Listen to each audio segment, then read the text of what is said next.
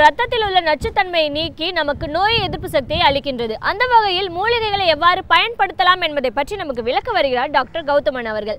நம் விடையிலே வாணிகிச்சின் அடுத்த பகுதியாக வரவிருப்பது பல்லாண்டு வாழ்ந்திட. அன்பான கலைஞர் தொலைக்காட்சி நேயர்களுக்கு என்னுடைய இனிமையான காலை வணக்கங்கள். இன்றைக்கி நம்ம பார்க்கக்கூடிய தாவரத்துடைய பெயர் குங்கும தீபம் அப்படின்னு சொல்லக்கூடிய ஒரு வகையான பிசின் வகை மருந்தை பற்றி தான் இன்றைக்கி பார்க்க போகிறோம் ரொம்ப சூடான ம மலைப்பகுதிகளில் வறண்ட பூமிகளில் பாலைவனங்களில் வரக்கூடிய ஒரு வகையான கள்ளி செடிகளிலிருந்து வெளியில் இருக்கக்கூடிய சூடினால் அந்த தண்டுகள் வெடித்து வெளிவருகின்ற பிசினை தான் குங்கும தீபம் அப்படின்னு சொல்லுவோம். இதற்கே இந்த ஒரு பெயர்னால் அடர்ந்த சிவப்பு இருக்கக்கூடிய ஒரு நெருப்பு எவ்வாறு இருக்குமோ தூரத்திலிருந்து அந்த தாவரத்தை பார்க்கும்போது விளக்கேற்றி வைத்தது போல சிவப்பான அந்த பிசின் வந்து வெளியே வந்து உறைந்திருப்பதை நம்ம பார்க்க முடியும். அதுக்கு தான் அதற்கு குங்கும தீபம் அப்படின்னு பேர். இந்த குங்கும தீபத்தை பொறுத்தவரையிலும் எல்லாவித பாரம்பரிய மருத்துவ முறைகள் நம்மளுடைய தமிழ் சித்த மருத்துவ முறை ஆயுர்வேத மருத்துவ முறை யுனானி மருத்துவ முறை அப்படின்னு சொல்லக்கூடிய சீன மருத்துவ முறைன்னு சொல்லக்கூடிய எல்லா வகையான பாரம்பரிய மருத்துவ முறைகளிலும் இந்த குங்கும தீபத்தை பற்றி நிறைய குறிப்புகள் இருக்கிறத நம்மளால் பார்க்க முடியுது. மிகவும் முக்கியமாக பார்த்தீங்கன்னா பலி நிவாரணத்திற்காக உடலில் இருக்கக்கூடிய முட்டுகளில் இருக்கக்கூடிய வலிகளை குறைப்பதற்கு குங்கும தீபத்தை மருந்துக்காக பயன்படுத்துகின்ற ஒரு வழக்கம் உண்டு. எந்த விதமான பிசினாக இருந்தாலும் சுத்தி செய்யாமல் உபயோகப்படுத்தக்கூடாது அப்படிங்கிறது நம்மளுடைய ஒரு வழக்கம். அதனால் பார்த்தீங்கன்னா பாரம்பரிய மருத்துவ முறைகளில் விதவிதமான சுத்தி செய்யக்கூடிய முறைகள் குங்கும தீபத்திற்காக சொல்லியிருக்கிறாங்க. மிக பொதுவானது அப்படின்னு பார்க்கும்போது பசுவுடைய கோமியத்தில் இரவு முழுவதும் ஊற வைத்து பகல் முழுவதும் வெண்ணி வெயிலில் ஊற வைக்கக்கூடிய ஒரு வழக்கம். இந்த மாதிரி வந்து ஒரு இருபத்தி ஒரு நாட்கள் செய்து அதை தூளாக்கும் போது பிசினாக இருக்கக்கூடிய அந்த குங்கும தீபம் வந்து ஒரு சூரணமாக மாறுவதை நம்ம பார்க்கலாம். உள்ளுக்கு கொடுக்கின்ற வழக்கம் வரும்போது திருபலான்னு சொல்லக்கூடிய கடுக்காய் தாண்டிக்காய் நெல்லிக்காயுடைய கஷாயத்தில் குங்குமதீபத்தை இட்டு கொதிக்க வைத்து அதிலிருந்து சுத்தி செய்து எடுக்கக்கூடிய குங்குமதீபத்தை உள்ளுக்கு கொடுக்கக்கூடிய ஒரு வழக்கம் நிறைய இடங்களில் நமக்கு பார்க்க முடிகிறது. குங்கும தீபத்தை பொறுத்தவரையிலும் பார்த்தீங்கன்னா அதிகமாக உபயோகப்படுத்தப்படுவது அப்படின்னு நான் ஏற்கனவே சொன்ன மாதிரி வலி சம்பந்தப்பட்ட நோய்களுக்கு. குறிப்பாக உடலில் ஏற்படுகின்ற எந்த வகையான வலியாக இருந்தாலும் முட்டு வலியாக இருந்தாலும் தோள்பட்டை வலியாக இருந்தாலும் கணுக்கால்களில் ஏற்படுகின்ற வலியாக இருந்தாலும் வயிறு ப பகுதிகளில் ஏற்படுகின்ற தசை சம்பந்தப்பட்ட வழியாக இருந்தாலும் ரொமட்டாய்டு ஆர்த்ரைட்டிஸ்ன்னு நம்ம சொல்லக்கூடிய ஆர்த்ரைட்டிஸ் சம்பந்தப்பட்ட வழியாக இருந்தாலும் கவுட் அப்படின்னு சொல்லக்கூடிய யூரிக் ஆசிட் உடலில் அதிகமாக தேங்குவதால் ஏற்படுகின்ற அது சம்பந்தப்பட்ட முட்டு வழியாக இருந்தாலும் எந்த வகையான வழியாக இருந்தாலும் குங்கும தீபத்தை மருந்தாக பயன்படுத்துகின்ற வழக்கம் எல்லா விதமான பாரம்பரிய மருத்துவ முறைகளிலும் நம்மால் குறிப்புகளுடன் பார்க்க முடிகிறது. இன்றைக்கு நிறைய கிராமங்களுக்கு நம்ம போகும்போது நிறைய பாரம்பரிய மருத்துவர்கள்லாம் பார்த்திங்கன்னா வலி சம்பந்தப்பட்ட சிறப்பு மருத்துவர்கள்லாம் பார்த்திங்கன்னா கருப்பு நிறமாக அல்லது வெண்மை நிறமாக ஒரு சூரணத்தை கொடுத்து இதில் பாலிலோ அல்லது தேனிலோ கலந்து சாப்பிடுங்க அப்படின்னு கொடுப்பாங்க. அந்த சூரணத்தை வந்து நம்ம பெரும்பாலும் என்ன அப்படின்னு பார்த்தோம்னா பெரும்பாலும் குங்கும தீபத்தை சுத்தி செய்து எடுக்கக்கூடிய ஒரு சூரணமாகத்தான் அது இருக்கும்.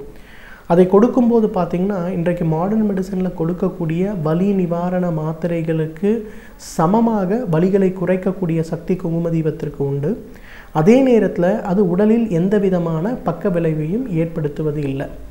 ஜெய்ப்பூரில் இருக்கக்கூடிய தேசிய ஆயுர்வேத மருத்துவ நிறுவனத்தில் என்ன பண்ணாங்கன்னா இந்த குங்கும தீபத்தை சுத்தி செய்து அதை வந்து எலிகளுக்கு ஏற்படுகின்ற முட்டு வலிகளுக்கு கொடுத்து பார்த்தாங்க. இது வந்து ஒரு வலி நிவாரண மாத்திரையாக செயல்படுகிறதா? அல்லது அந்த வலிகளை உண்டாக்கக்கூடிய காரணிகளை குறைக்க உதவுகிறதா? அந்த இடத்துல இருக்கக்கூடிய இன்ஃப்ளமேஷனை குறைக்குதா? அந்த இடத்தில் இருக்கக்கூடிய தேவையற்ற இரத்த கசிவு அல்லது இரத்த குறைபாடுகளால் அது ஏற்படுகிறதா? அந்த வலியை குறைக்கிறதா? தசையில் இருக்கக்கூடிய அழுத்தத்தை வந்து குறைக்க உதவுகிறதா? தசையில் இருக்குகின்ற சுருங்கி விரிகின்ற தன்மையில் ஏற்படுகின்ற பலவீனத்தை குறைக்க உதவுகிறதா? அப்படின்னு சொல்லி ஒரு ஒரு நீண்ட விரிவான ஆராய்ச்சி செய்து பார்த்தபோது ரொம்ப அழகாக அதில் தெரிய வந்தது. இந்த குங்கும தீபத்தை பொறுத்தவரையிலும் சிறப்பான வலி நிவாரணியாக இருக்கின்ற அதே நேரத்தில் இது முட்டுகளில் இருக்கக்கூடிய இறுக்கத்தை அழுத்தத்தை அதாவது இன்ஃப்ளமேஷன் நம்ம இன்றைக்கி சொல்லக்கூடிய ஒரு மருந்தாக இருக்கிறது அப்படிங்கிறத கண்டுபிடிச்சிருக்காங்க. இன்னும் இது சம்பந்தப்பட்ட நிறைய ஆராய்ச்சிகள் நடந்து கொண்டு இருக்கிறது ஆனால் அந்த ஆன்டி இன்ஃப்ளமேட்ரி அப்படிங்கிறது இன்றைக்கு முட்டு சம்பந்தப்பட்ட வியாதிகளை பொறுத்தவரையிலும் ஒரு மிகப்பெரிய மருந்து. இன்றைக்கி ஆன்டி இன்ஃப்ளமேட்டரியாக முட்டு சம்பந்தப்பட்ட வியாதிகளுக்கு கொடுக்கக்கூடிய மருந்துகள் பெரும்பாலான மருந்துகள் பார்த்திங்கன்னா உடலை பாதிக்கின்ற ஒரு மருந்துகளாகத்தான் இருக்கிறது.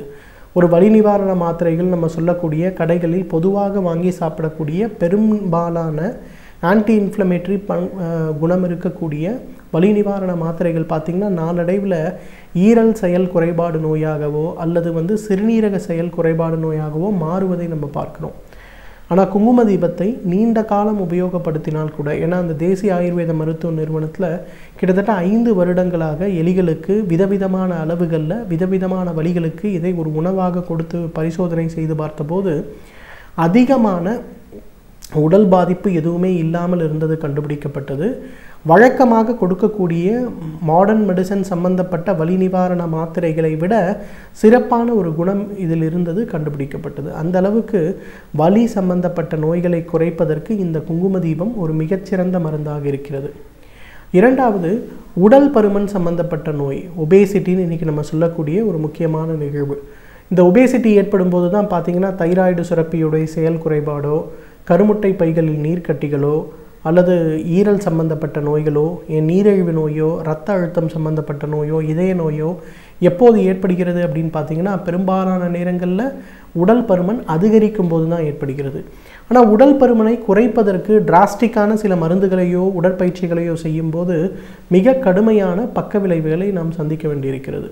அந்த மாதிரிலாம் இல்லாமல் குங்கும தீபத்திலிருந்து எடுக்கக்கூடிய அந்த சூரணத்தை இரண்டு கிராம் முதல் ஐந்து கிராம் வரை உடலுடைய அளவு மற்றும் வயதிற்கேற்றாற்போல் தொடர்ந்து சாப்பிடும்போது அந்த உடலில் இருக்கக்கூடிய அந்த நச்சுப் பொருட்களுடைய தாக்கம் குறைந்து உடலுடைய பேசிக் மெட்டபாலிக் ரேட்டுன்னு சொல்லுவோம்.